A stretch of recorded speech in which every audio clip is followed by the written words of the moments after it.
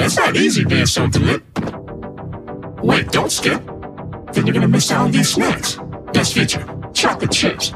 Bedtime? Wait, what? Oh! Chips Ahoy is here. Here for happy.